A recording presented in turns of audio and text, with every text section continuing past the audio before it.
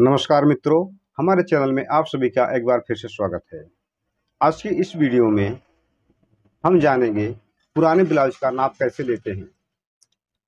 पुराने ब्लाउज का नाप कैसे लिया जाता है और उससे ब्लाउज कटिंग कैसे करते हैं, वही आज की इस वीडियो में हम आप जानने वाले हैं। तो आइए वीडियो को शुरू करते हैं। जैसा कि हमारे पास एक पुराना ब्लाउज है तो इसमें कुछ लोग जो नाप लेते हैं ब्लाउज का, लंबाई लेते हैं, उस, उसमें दिक्कत आती है उनको। तो कुछ दोस्तों ने हमें कमेंट किया था कि हमको इस तरह का जानकारी बताएँ तो आज की इस वीडियो में हम वही जानने वाले हैं। जैसा कि ये आप देख सकते हैं ये फ्रंट है।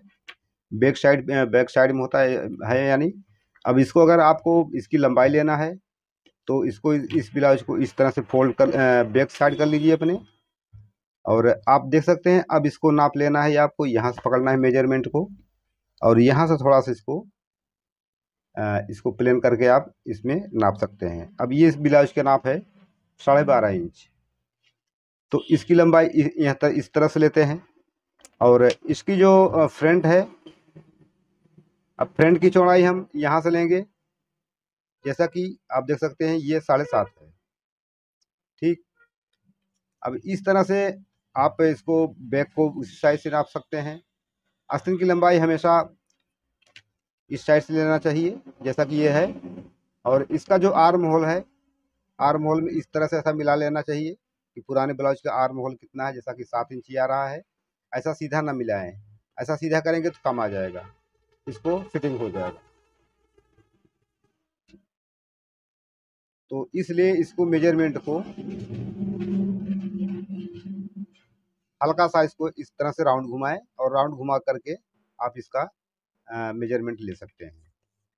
और ब्लाउज जब आपका तैयार हो जाए, एक बार इसको फिर से यहाँ से नाप यहाँ से उठा लेना चाहिए नाप, यहाँ फ्रंट से, यहाँ से मेज़रमेंट को लेना चाहिए और यहाँ से इसको इस तरह से फोल्ड करना चाहिए। फिर यहाँ से इसको, ये जो साइड का है, अगर गला आपका ऊपर छोटा है तो आप गले के साइड से ले सकते हैं, नहीं तो अदरवाइज़ इसको यहाँ से ले सकते हैं। ये पूरा देख लीजिए कि ब्लाउज का पूरा जो चेस्ट है, वो कितना आ रहा है? बत्तीस इंची आ रहा है। तो इस तरह से आप इस इस ब्लाउज का, पुराने ब्लाउज का नाप ले सकते हैं और एक नया ब्लाउज उससे कटिंग कर सकते हैं। और गला तो गला भी इसी तरह से आप नाप सकते हैं, जैसा कि ये आप देख सकते हैं, यहाँ बैक का गला ढाई इंची है।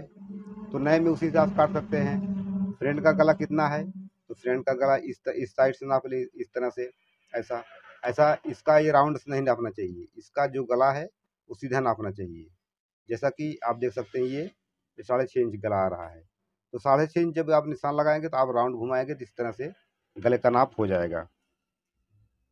तो ये थी पुराने ब्लाउज के नाप लेने की जानकारी।